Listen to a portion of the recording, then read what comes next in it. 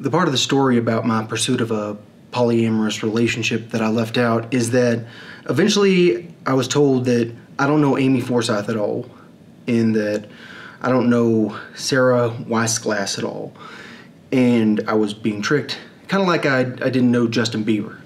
Uh, sometimes you want to make sure that sometimes when a Christian's friends with a lot of uh, Christians, then we kind of want to make everyone think they're bad.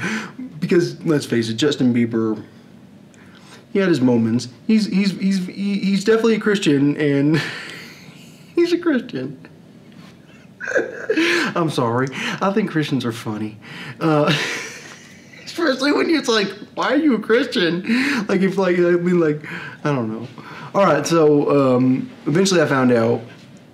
I don't know Sarah. I don't know Amy. Um, now, Alex Dario. I'm still wondering if I know her because uh, one time she kind of she acknowledged my existence. Was well, you acknowledge my existence and you're a girl. Oh, oh my gosh. Oh, oh, just talk to me again, please. Yeah, that's pretty much how I am with girls. All right, so um, yeah, I don't know who, who's who, but um, I know that I like her a lot. I like her personality a lot. She's kind of a special woman. Uh, she sure is beautiful, and I wouldn't mind being around her. But what I know, without a doubt, is that my heart belongs to a girl named Miley, and I'm planning on filling a filling a place called the Dome of the Rock with gold, all kinds of treasure, all kinds of pagan statues. And then I'm gonna have a big ass throne bed that's so big we gotta climb up it. There's gonna be a ladder to get on that throne bed. And then we're gonna do some stuff, whatever that, that means. You can figure it out.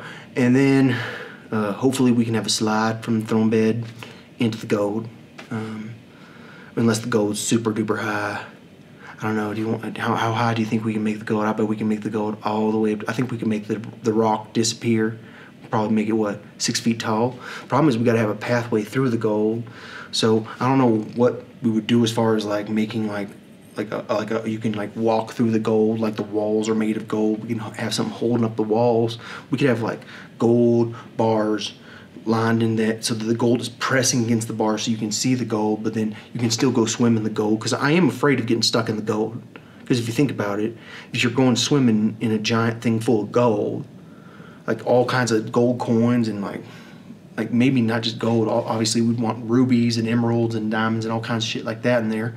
Uh, whatever we have in there, crowns, whatever old stuff we have. If you're going swimming in there, how are you going to get out if you if you sink too far in? It's like sinking sand. Well, probably not. Probably you can walk on top of it. I don't know, but if you started to sink, you could probably get stuck. Uh, I don't know. I haven't really thought about the logistics of having a having a place full of gold, but if we're going to have the Dome of the Rock full of gold, we want to have Al-Aqsa full of normal stuff. You know, we can convert that into a house. So uh, I don't know how big Al-Aqsa is. Al-Aqsa, Al-Aqsa is a mosque, very important mosque for the Muslim world, and um, it could be my residence if we could convert it into into into our home. And um, I don't know if we can put a pool up there.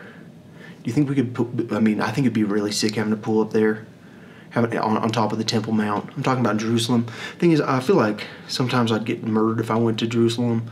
Uh, usually, I think that um, I wouldn't. All right, so them chinos.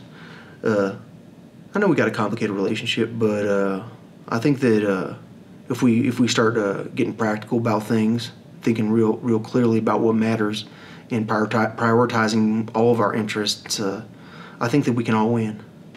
Uh, we just got to be reasonable with one another.